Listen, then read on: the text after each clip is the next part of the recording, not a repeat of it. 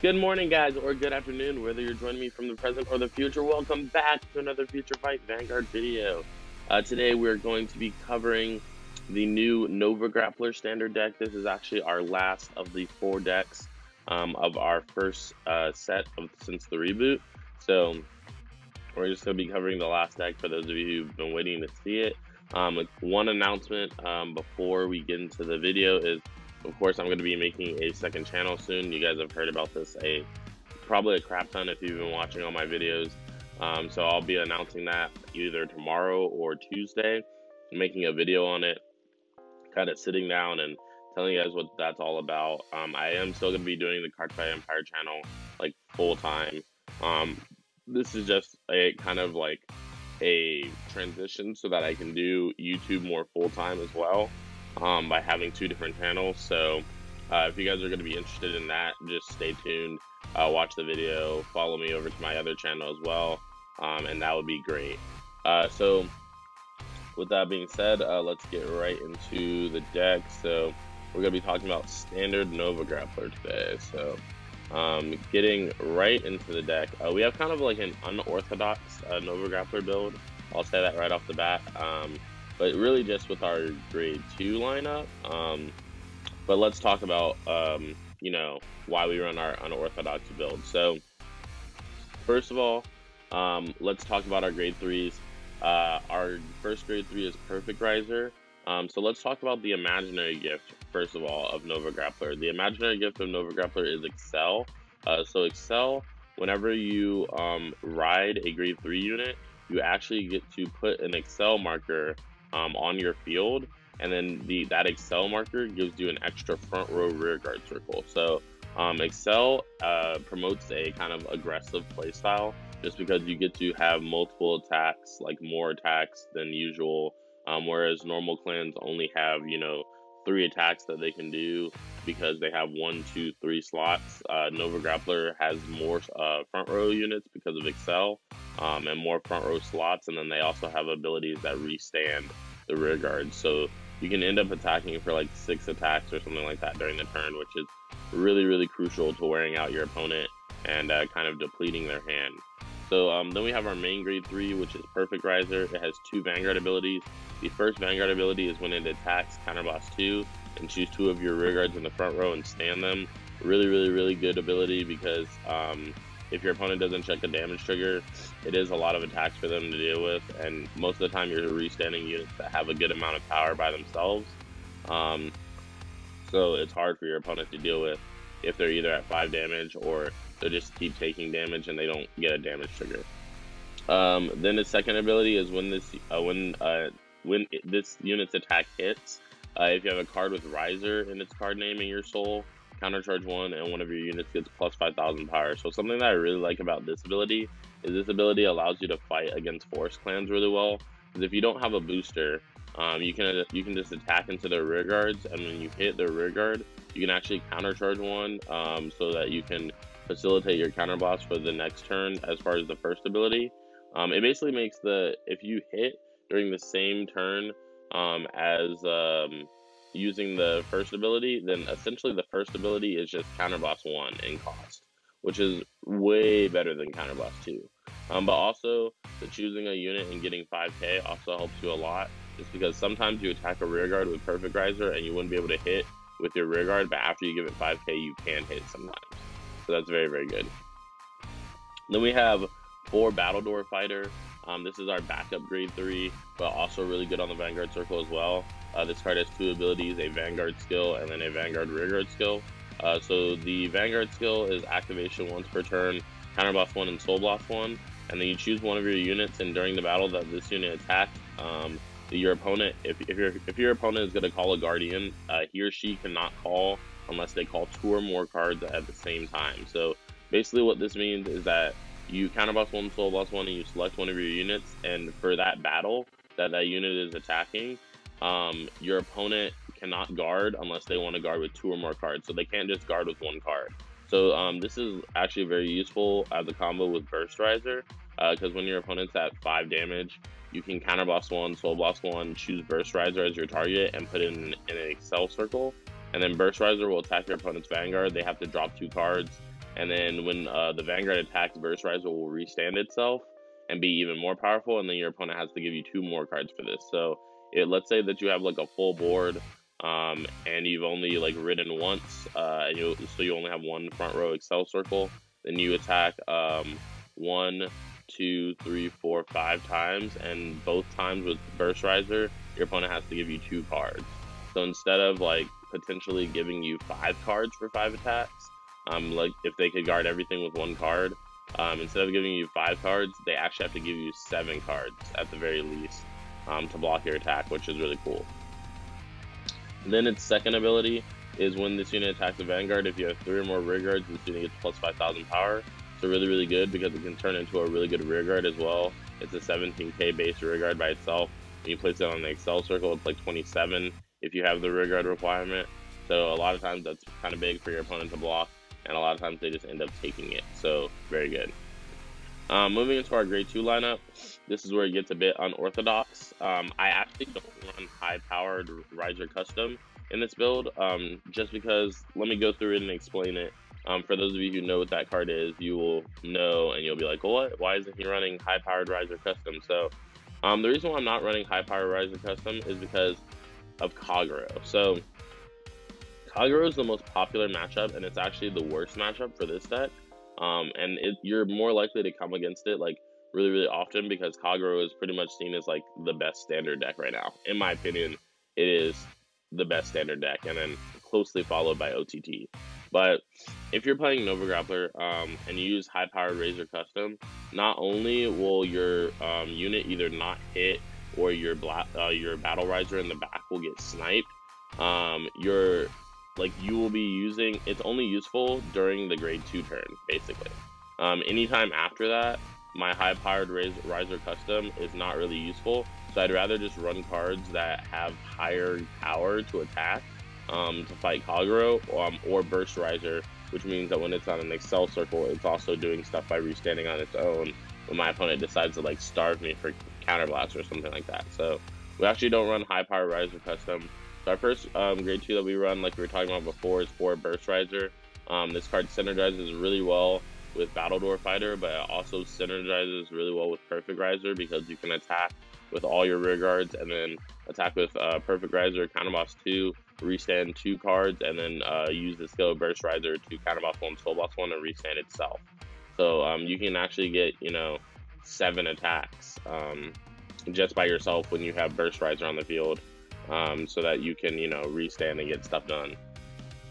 So Burst Raizer skill is when your Vanguard attacks um, and it's on the rear guard circle, you can counterblast one, soul blast one, stand this unit, and if the number of cards in your opponent's damage zone is four or more, this unit gets plus 3,000 power. So if it's in an Accel circle, this unit becomes 22k. So against uh, another Nova Grappler deck or OTT that actually makes a number on their Vanguard, um, a magic number. Uh, as far as um, Royals and Kagero, it doesn't really change anything. So getting the 3K doesn't really, you know, affect anything because uh, they're 13K base and that's a different number. Um, but yeah, moving into uh, our next grade two, we have four Cut Bowler. Um, Cut Bowler says uh, continuous Vanguard Rearguard skill during your turn. If you have another hero unit on your field, this unit gets plus 5,000 power continuously. So um, we run the hero engine in this deck just because it really helps us um, be able to just play front rows and have them be powerful enough to attack our opponent. Um, so we try not to play back rows so that um, against Kagero we don't have to be like we can shut their Nehalem down and we don't have to like fight them as hard when we're playing less cards to the field because those cards have high, higher power and can attack them. So we do just run four cut bowler. Um, something really cool in the early game is if we ride and then we call two cut bowlers if we happen to have them, Bowler will like see each other, and they'll both be 14k base, which allows you to, you know, I like it a little more than um, Iron Killer because even though they both have their conditions for gaining 5k, Iron Killer has to attack a Vanguard to get 5k, and Cut Bowler just gets 5k continuously. So if I need to attack a Rearguard for 14, I can, um, like a 10k Rearguard. Then we have four Iron Killer. Iron Killer skill is when it attacks a Vanguard. If the number of rearguards that we have is three or more, it gets plus 5,000 power. So basically the same skill as Battledore Fighter um, on the rearguard circle. and it can be pretty good. Um, honestly, we, we only run it because we want to be able to attack our Vanguard without a boost and uh, be able to still hit them. And then moving into our grade ones, we have four Raizer Custom. Uh, this card is very, very good. I like this card a lot, um, especially when I'm like pressuring and going for game. Um, that's when I like this card the most. But it has two abilities. The first one is an Act Vanguard once per turn ability. It says choose a card from your hand and put into your soul, and this unit can attack on the first turn and it gets minus one drive until the end of the turn. So basically what happens is you ride this card on top of your starter, you draw a card from your starter, and then you can shove a card into your soul and just attack your opponent's starter on the um, first turn. So a lot of times if I have it and I'm going first, I do end up using the skill if I don't have like if I have something in my hand that's not super super important like a front trigger or something, I just shove it into the soul and attack um, just because one, it builds soul, and then two, it also most of the time your opponent just takes the attack and uh, gets early damage off on them, so that if it's a trigger, you can get it out of the way. Um, if your opponent blocks it, you're getting early um, cards from them before they even ride to grade one uh, cards from their hand. So it is very very good all around. Um, I don't think that it's bad to use the skill at all uh, because you're either sacrificing a card from your hand for damage from your opponent um, or you are sacrificing a card from your hand from a card from your opponent's hand. So both are worth, in my opinion. And um, yeah, I will probably always use the skill if I go first and I don't have like super useful cards in my hand. Um, then it has a rearguard ability that says once per turn, when your other rig rearguard in this column stands, then you can stand this unit. So this card helps when you're like uh, pressing for game because when you know that you're on perfect raizer and you're gonna restand columns and stuff like that, um, or you're going to restand certain cards, you can put a Raizer Custom behind it, which would be a nice 8k boost to it. Um, and, you know, if you're placing, um, you know, like let's take the scenarios of you placing it behind a grade 2 or grade 3. If you're placing Raizer Custom behind Battledore Fighter, you'll be making a 25k column. And then when Battledore Fighter restands from Perfect Raizer, so will Raizer Custom, and you can attack for 25 again. Um, Burst Raizer will attack for 17, then 17 when it restands, or 17 and then um, 20 when it restands if it gets 3 from its own skill. Cut Bowler can attack for 22, then 22, and Iron Killer can attack for 22, then 22 to Vanguard. So, um, very, very good. Makes good numbers against your opponent, especially if they're playing Nova Grappler or OTT just because of the 12k base powers. Um, and yeah, moving on. So we have four Rocket um, Hammerman. We really only run this card, not really for the skill, but because it's a hero, and we are running the hero engine, so we need things for Cut Bowler to get its plus 5k. So in the early game, you want to increase the chances of Cut Bowler being able to get its power no matter what. So we do have Rocket Hammerman. Its skill is on the Rearguard Circle when it boosts the hero. Soul Blast 1 and it gets plus 5,000 power until the end of the turn. So um, I have used this card in some scenarios to like end games, uh, but it's really when my opponent's at 5 damage and I have an unboosted hero on the board that I play this card. Otherwise, I just kind of hold it because 10k shield is very useful in the hand. Then we have 4 Jet Raizer. Um, Jet Raizer's skill is Vanguard Rearguard Circle. When your other Rearguard is placed, this unit gets plus 3000 power until the end of the turn.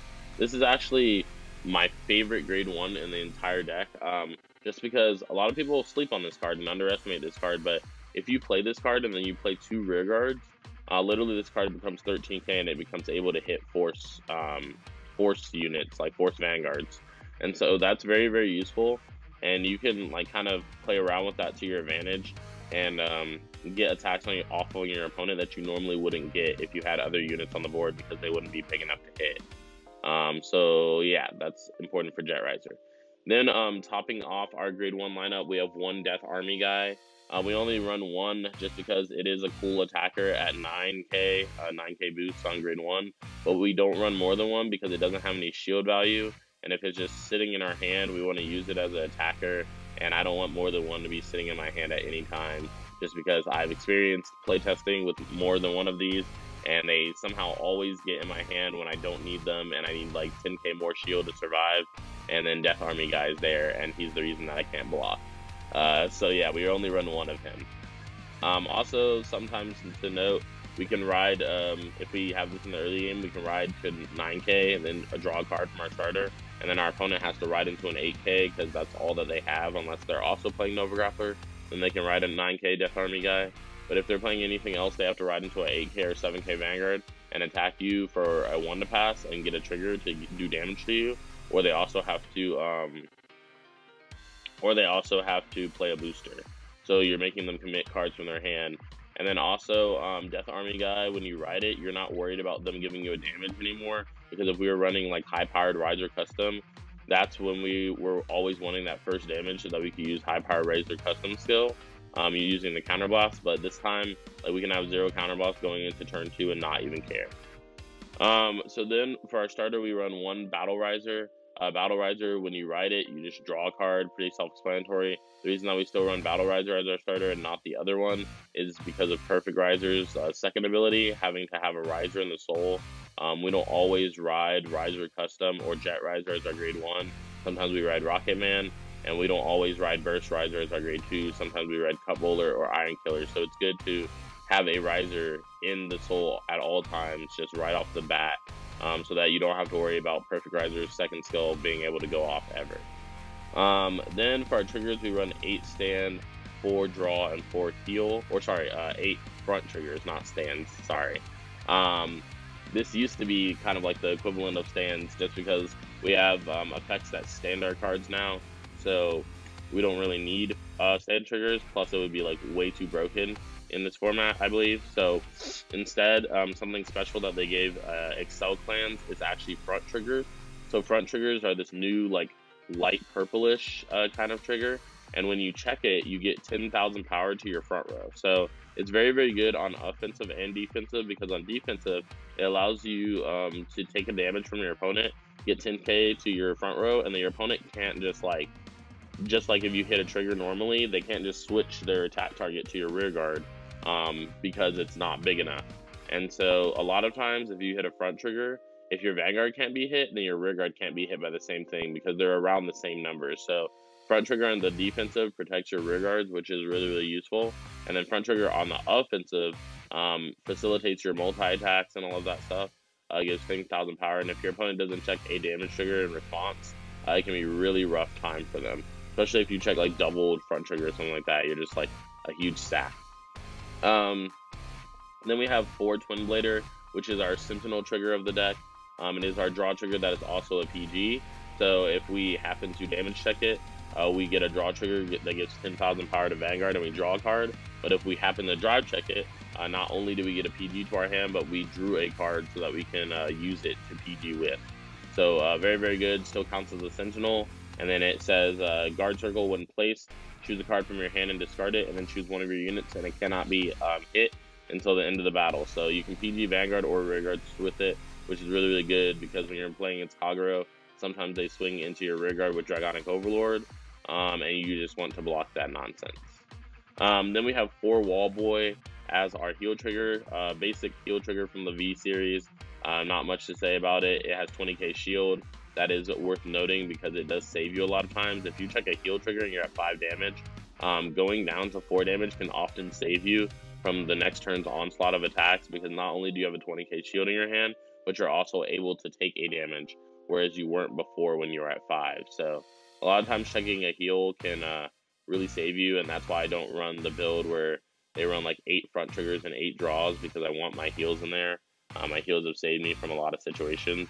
Also, if we're unable to um, countercharge sometimes using Perfect Raizer, um, because our opponent won't ever let us hit, sometimes uh, checking a heal can act as a countercharge because we can heal off of a counterblast of damage and then take a damage, and we have, you know, yet another damage to counterblast um, after that. So let's get right into the games here. We're running, um, or sorry, we're fighting a Royal Paladin for the first deck that we're fighting. Our opponent rides um, and attacks us. They don't get a trigger because we rode a Death Army guy, so they couldn't hit us with our with their 8K. And uh, see, this is like really important that we did this, just because since our opponent couldn't damage us, on the first thing, we're able to take their blaster blade um, with a crit and kind of like not be at four damage, which is what we would have been at before had we had to take Vanguard attack. So um, we're attacking, we get a heal trigger. We do activate um, Perfect Raizer's ability to counter blast 2 and restand. Our opponent attacks, gets a draw trigger, and then uh, gets another draw trigger, which I was kind of mad about because he drew two cards when he got his first draw trigger, and then he put he showed me the second card and then put the card back and shuffled and checked the draw trigger. Um, so I was like kind of salty about that because all he had to do was when he showed me that that was would have been his second check. All he had to do was keep it, and it wasn't a trigger. So for him to shuffle it back just because he had to show it to me, I was just like, that doesn't make sense. But sometimes people on area do a lot of things that don't make sense. Um, so we play rear guards from our hand. Uh, we attack for 19 to his vanguard. He guards with two cards. We soul blast attack for 30, and then we attack rear guard um, for with perfect raizer. He guards for two to pass. We check two cards. We attack for 17 and then 19. Um, he guards with the heal trigger. Um, he rides Alfred, and then he plays the card from his hand. Uh, he, he attacks for 31. He checks a crit, and then um, we we guard with double PG, and then a um, double PG and a heal trigger. So we attack with Vanguard. He PGs it, and then we attack using the skill of um, of Rocket Hammerman, and it actually clutched us the game just because it was able to give that plus 5,000 power. Our opponent wasn't able to guard it, um, and that just ends up being game one that we won against Royal Paladins. Um, so basically, like, you know, as you guys have been seeing, you just want to force your opponent into Nova Grappler's like kind of theme or the way that they win is kind of death by multi attacks. Uh, so you want to force your opponent into a situation where they are unable to block just because well, really, you want to get them to um, five damage as fast as possible because when you get them to five damage against Nova Grappler, it's like very, very dangerous for your opponent to be at five damage against Nova Grappler because then you have to guard all the attacks without any um, chance of checking a damage trigger unless you are expecting a six damage heal, which is unlikely. So, um, so then we're fighting against uh, again. Thankfully, we uh, six damage heal, or sorry, we uh, not six damage heal, but we um heal on our four damage so that when he goes into grade three, we don't have to be at four damage because that's dangerous. Um, then we do attack with um, Perfect Raizer, getting multi attacks off, and then he attacks with Vanguard. We take it, and then he attacks our rear guard. So uh, because he's attacking our rear guard, we are just like putting down triggers to the board just so that we can hit him and pressure him more. And then we attack for 25. Um, so he was forced to guard with the last card in his hand. So we PG his Vanguard.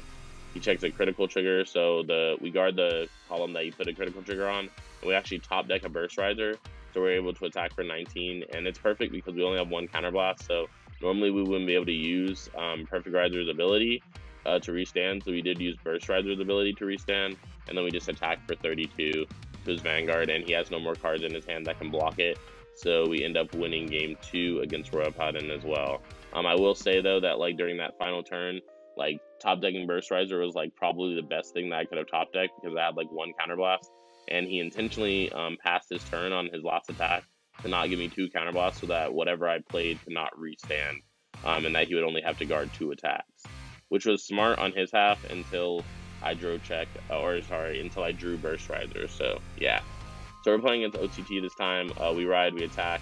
Our opponent takes the damage. Um, our opponent rides and then it, like decides to rush us, so they're attacking us for eight, then nine. Uh, then we take a damage, we heal.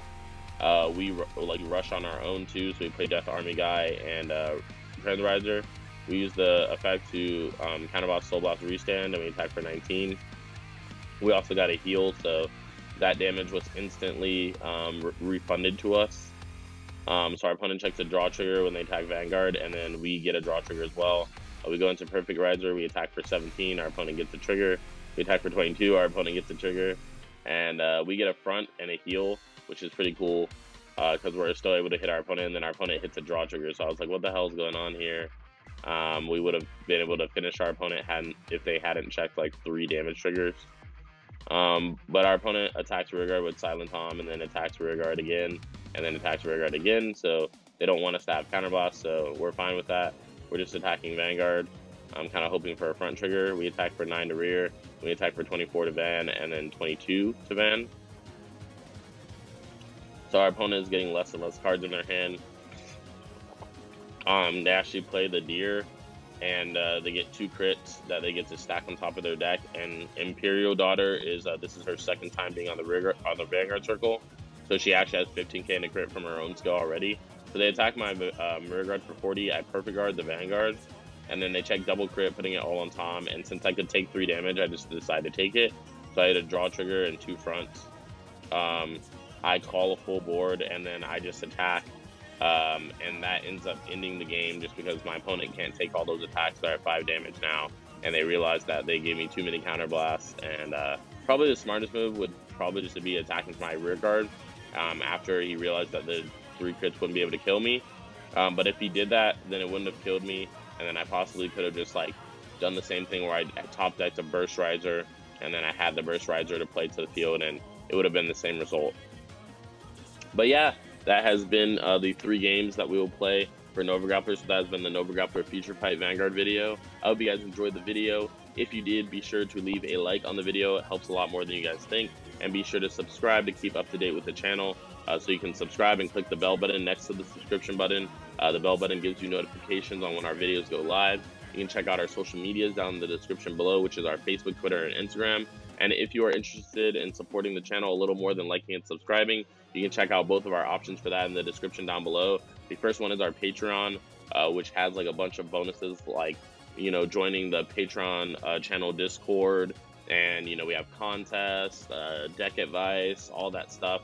Um, I answer questions, deck uh, help questions, and all that stuff. So if you're interested in that, or if you're just interested in just supporting the channel, you can head over and check that out.